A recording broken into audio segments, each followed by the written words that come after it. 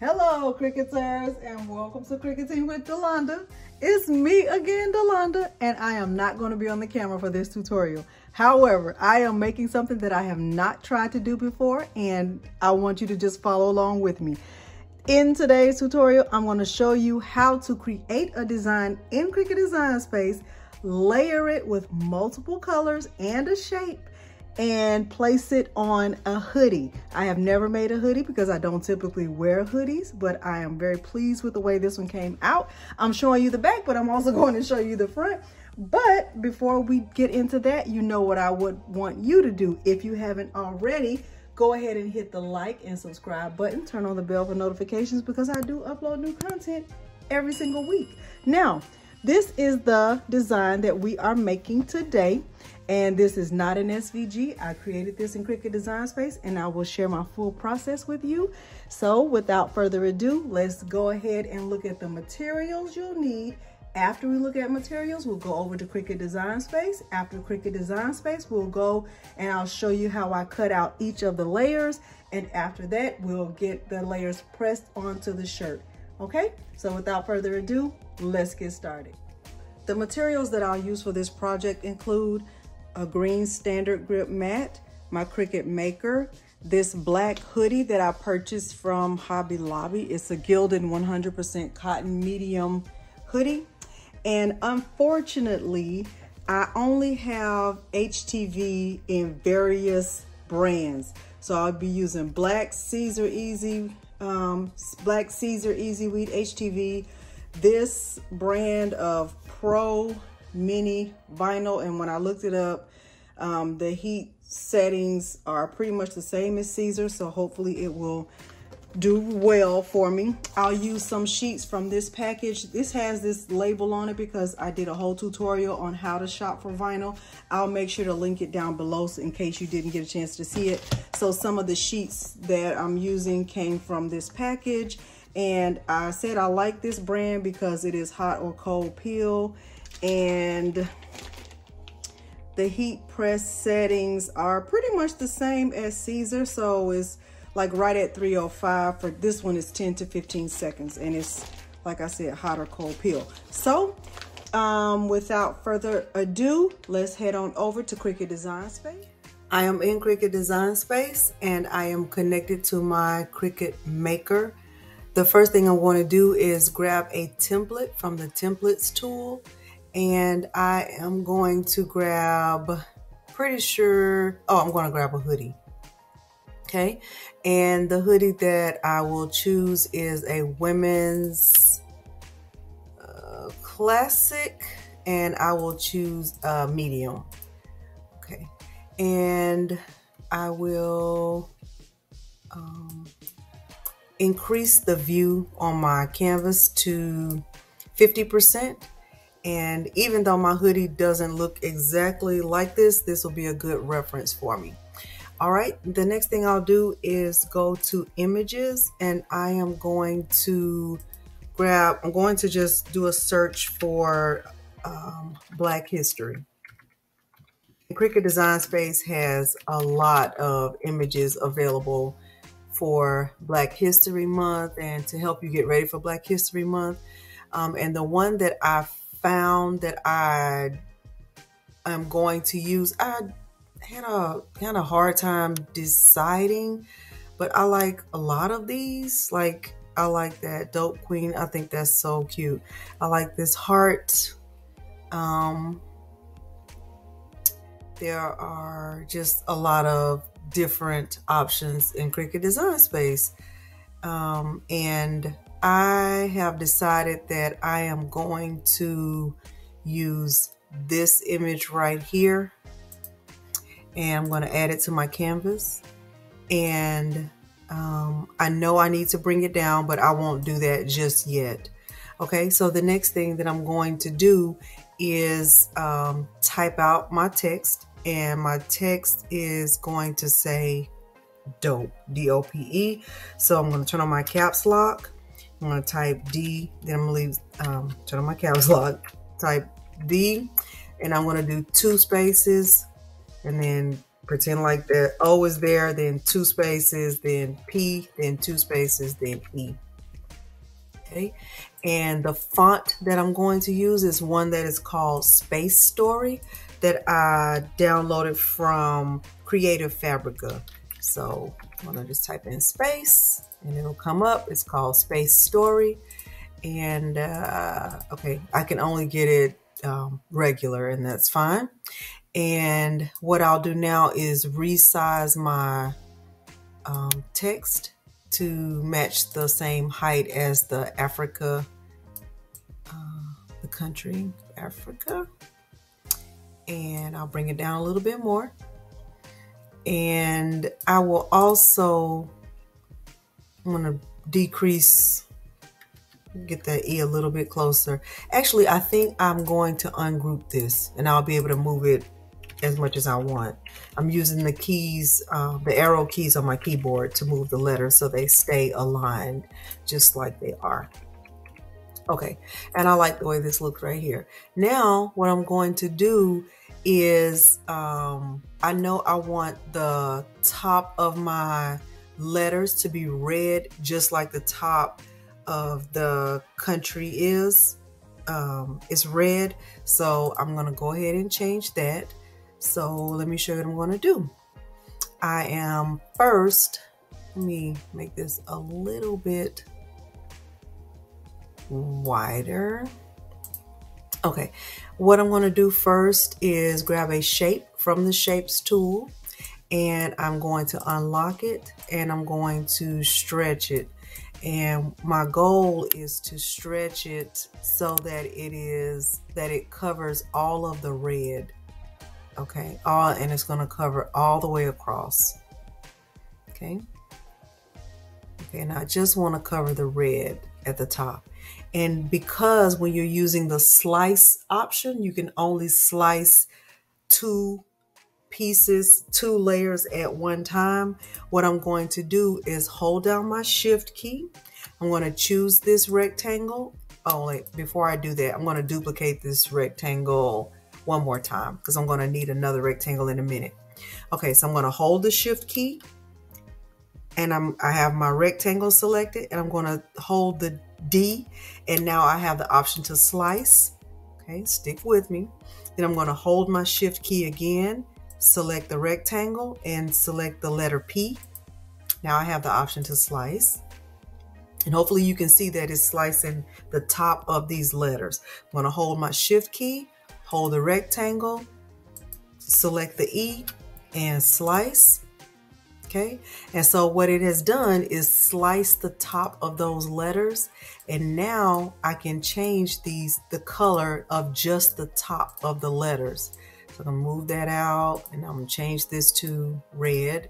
I can move this out and I can change this to red. So now the top, all three, I mean all four of the tops are red and I can attach that. So I'm to hold my shift key again, holding my shift key, select the top.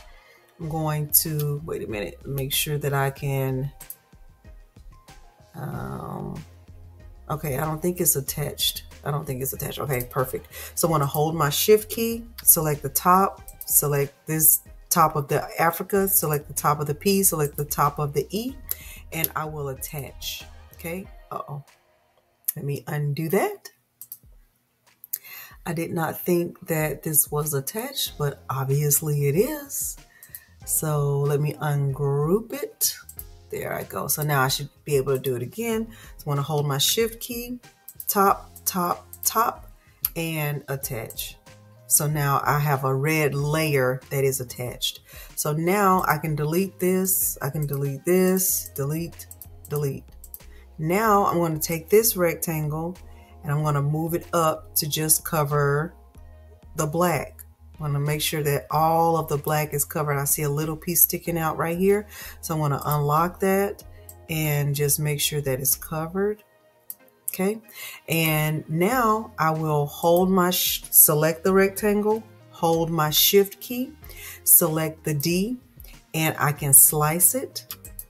Okay. I'm going to do the same thing. Select the rectangle, hold the shift key, select the P, slice it. Select the rectangle, hold the shift key, select the E, slice. And now I can move this out and I can move this and I can move this and I can move this and I can change the color of this. Now stick with me because I don't want the color of this to be black. I want the color of this to be this gold color. Okay. And so I'm going to change this color also to gold. I'm going to change this color to gold and I'm going to change this color to gold. And then what I'm going to do is hold my shift key. So I'm to hold the shift key, select the D, hold the shift key, select, select, select, and I'm going to attach. So now I have my gold layer that's attached. And then at the bottom, all I got to do, all I have to do now is change this to green. So there's my green, there's my green, and here is my green. And even though I don't really like the color of this green, it doesn't matter what color I choose here. What matters is the color of the vinyl that I put on my mat. So now I'm going to select the D, hold the shift key, hold it, I'm selecting each one of these and I will attach them. So now I have a green layer. All of this can be deleted now. I can delete this and delete all of this now. And all of this can now be attached. But before I do that, the next thing I'm going to do is go ahead and select it. And I am going to do an offset on it. I'm not changing the size of the offset, even though I can see this, the Africa is touching the D right there. Let me cancel right quick and select this, just Africa, if I can. Oh, I won't be able to because of the way that it is. Let me see what I can do. Let me see if I can kind of stretch it out like that. That's not going to really do it. Um, I would have to detach in order to move I would have to detach it. And I don't think I want to do, yes, I do want to do that. So let me detach and let me detach and let me detach. And what I'll do is select over the E and I'll just use my keyboard to move it. I'll select over the P, move my keyboard. I mean the move move it over with my key the arrow key on my keyboard and I'll select over this. There I go. Okay, I think that is adequate space in between. Now I can just use the arrow key on my keyboard to move it back over and make sure that, you know, my spacing is good. Okay, I like that. Now I can select the, let me select my red and get it back attached. Okay, and select my gold and get it back attached select my green and get it back attached okay and now um, what I think I want to do is see what an offset will look like on this I love it I know I say I love it a lot but I love this. I think it looks amazing. I think it looks amazing. So what I'm going to do now is do one more offset and I can see that this is still touching and I think I'm okay with that because I want to see what it looks like. Um, it does not bother me. I am going to change that to white because the hoodie that I'm putting this on is black. Okay, so I think I like it like that. Let me look one more time to see if I add one more layer. Ooh, that's kind of overkill though. Um, let me undo that one. I think the white layer, well, let me look one more time and do another offset and apply it and see what that offset would look like in a different color, maybe Oh no. Oh no. Okay. That's like too, too, too much. Green is not bad, but black is better. And, you know, I really feel like I don't need the black because, but that black really does make it pop. It really does make it pop. I like it. Okay, let me look at it. I think I'm, I think this is, even though I don't need a black offset because the hoodie is black, let me see what this will look like. So let me go to my hoodie and change the color of it to black and let me turn these grid lines off and let me go ahead and group this and move it down to the actual size that it'll be.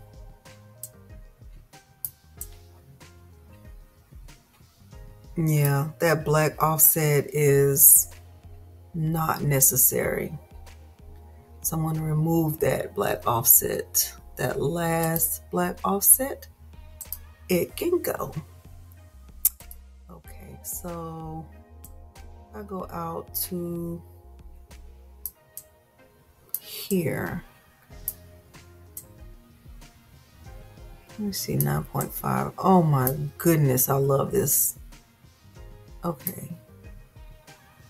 I like that a lot. Okay. So now um, I think that I want my width to be right at 9.6 and I think that's fair and safe. And um, there's one other word that I want to add. So I'm to go to text and I'm going to type, I'm turn my caps lock off and I'm going to type unapologetically. Apologetically. Okay, and I want this to be white. And you know, I can keep it like that, but I know I'm not going to keep it like that. I'm going to use a font that is called chocolate. So I'm just type chalk. And I know I want this to be white. And let me see what my options are. Okay. So now, and I want it to be, I want it to just sit on top of it like that. Let me kind of stretch it out a little bit more. Yes. Yes. This is how I want it. Now, I think I want this a little bit long, taller, I guess. Like that. And I know I'm going to need to weld unapolog unapologetically. And for dope, it is pretty much perfect just the way that it is. Okay. And I just want to be sure that it is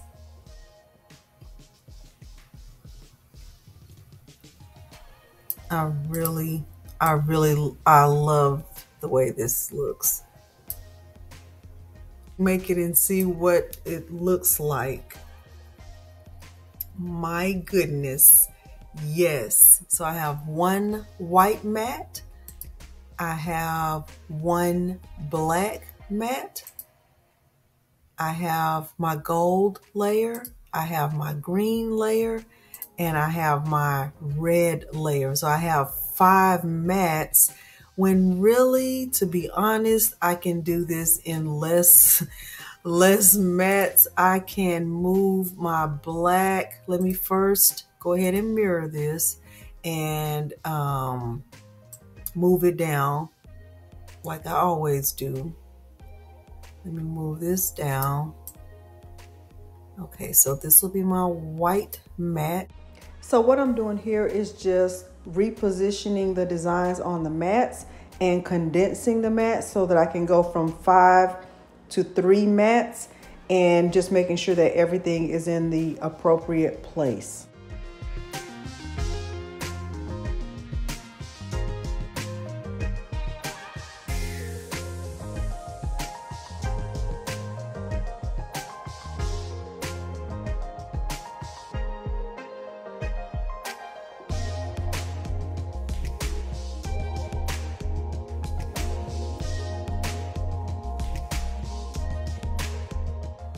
I am going to choose everyday iron on and I'm going to change my default pressure to more. I have my white vinyl loaded. It is on the mat with the shiny side down. I'm just going to go over it really quickly with my brayer to make sure that it is, you know, fully adhered to the mat. This is not a 100% necessary step, but if you have a brayer, it's good to use it. I don't always use it. I didn't use it in my tutorial yesterday when I did um, a project very similar to this one. I'm gonna go ahead and load my mat. My mat is mirrored, and so my design is gonna look like it's being cut backwards, but that's what it's supposed to look like.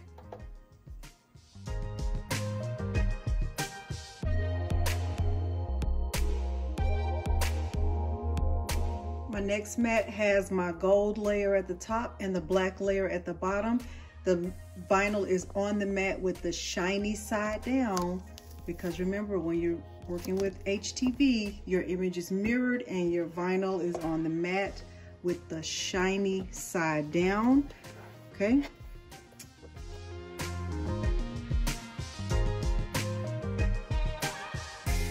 My last mat has the green at the top, red at the uh, bottom. Now I will start to get my vinyl all weeded out.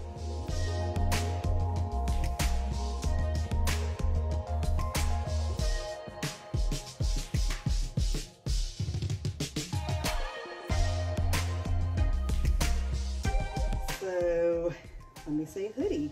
I am going to put it on my heat press and give it some good old pressure. And um, you know hope I do it right. Even though I had both of these on the same mat I needed to cut the this layer away from this because this is going to go on top so the first layer that I will place on my heat press is on my hoodie is this layer. And, you know, I typically go down, you know, just three fingers, just three fingers down, but I'm gonna go down a little bit more to save space at the top for unapologetically. So um, I think I'm just put it right here. And I think that is the center. And I'm gonna get my Teflon sheet. Now that I have my white layer pressed, I will start to just layer the other colors in order, starting with black. And I'm just being careful to make sure that it is aligned to the HTV that's already there. Once I feel like I have it in place, I'm just doing a tack, a simple tack for five to six seconds on each of the layers um, so that I'm not over pressing the white layer and every layer that's on top of it. So I'm pressing each layer for five to six seconds. Now I'm on the red layer. Um, and once I let get that tack down, then I moved on to my green layer.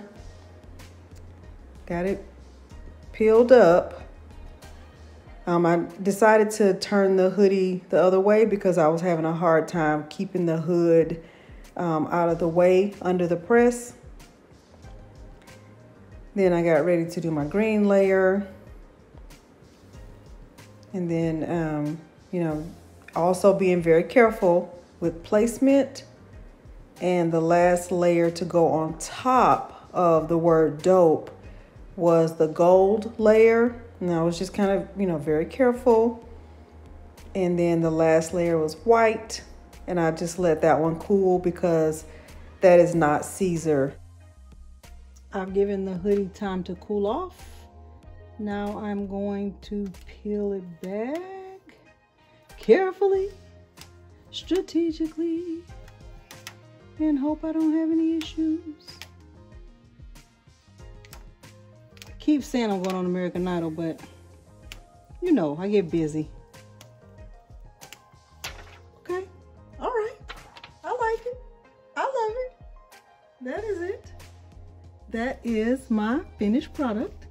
And what am I going to say other than I love it and hopefully you do too. Hopefully you were able to follow along with this process and you learned something. And if you did, if this video added any value or if you learned something, please consider hitting that like button and go ahead and subscribe. Turn on the bell for notifications because I do upload new content every single week. This is my most recent design and I absolutely love this. Thank you so much for joining me today and thanks for watching.